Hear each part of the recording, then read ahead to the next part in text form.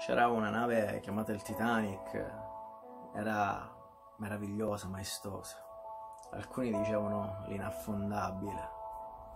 Eppure una sera mentre stava attraversando la notte in un cielo stellato, tutte le persone che erano lì a bordo iniziano a essere scosse da un lato all'altro e il capitano della nave si rese conto che quella cosa che sembrava piccola uscire fuori dall'acqua in realtà era più grande di quello che pensava.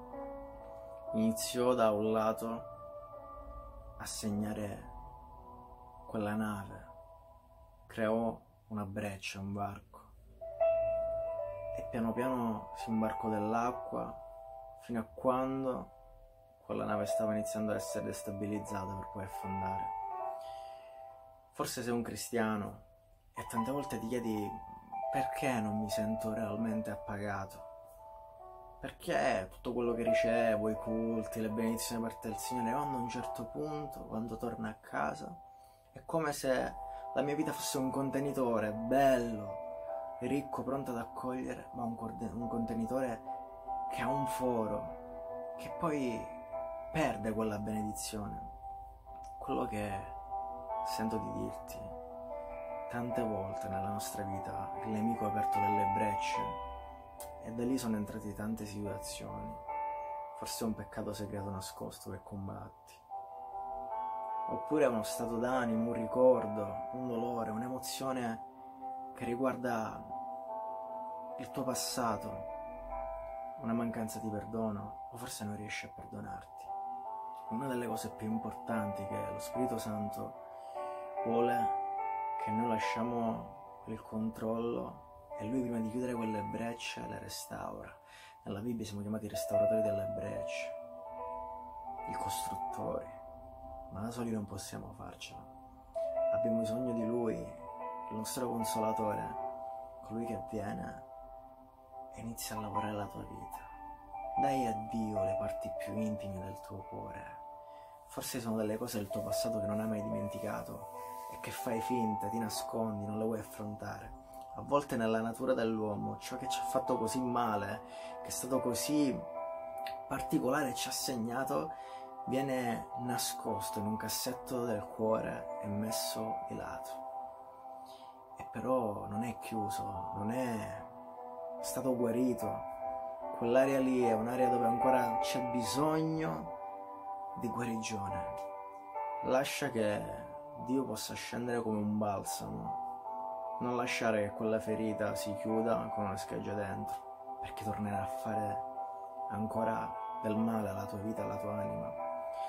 Una delle cose che Dio ci ha dato con la nuova nascita è un processo di rinnovamento e guarigione. Paolo diceva il rinnovamento della mente perché il centro delle nostre battaglie è qui e è qua.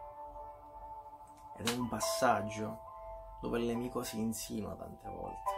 Ma non tutto quello che noi pensiamo corrisponde alla verità e non bisogna solo conoscere la verità, ma bisogna viverla la verità.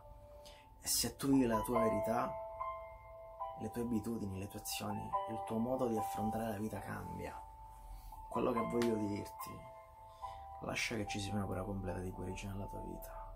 Lascia che Dio alzi un muro di cinta, lo Spirito Santo questa sera vuole parlare alla tua vita personalmente, ti vuole dire prendiamoci del tempo insieme, raccontami, tira fuori quelle lacrime, tira fuori quel rancore. Nella Bibbia è scritto adiratevi ma non peccate, non stare in silenzio, non stare lì a distruggerti nel silenzio della tua vita. Io non vi chiamo più servi, vi chiamo amici.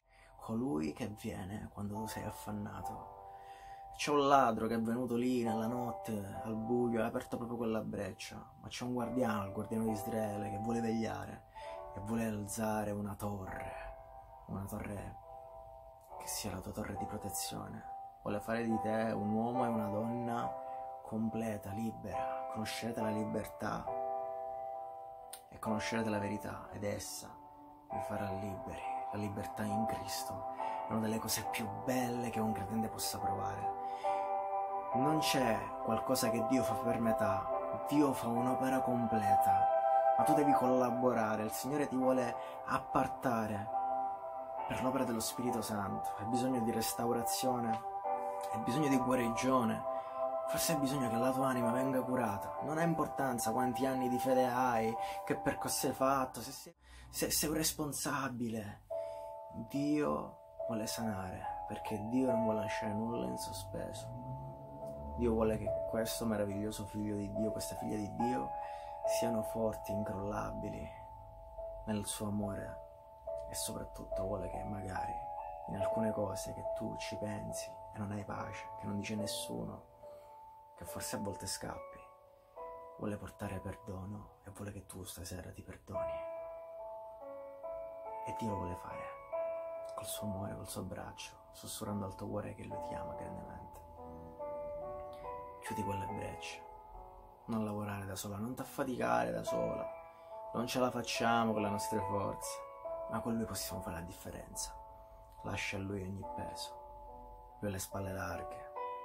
E spicca il volo. Tu sei nata per le vette, tu sei nata per la grandezza di Dio, per sognare e realizzare in grande i sogni che Dio ha intessuto nel tuo cuore. Oh, non ti fermare, corri, forse per un periodo, per un momento. Hai combattuto, arrenditi, dai a Dio tutto, tutto quello che hai dentro e vedere la gloria nella tua vita espandersi. Sarai un diamante, una luce per gli altri che ti incontreranno. Ma quelle schegge, quei graffiche nel cuore, quelle parti che sanguinano, fermati e lascia che Dio si prenda cura di te. Ti porti sulle spalle, ti accompagni alla sua locanda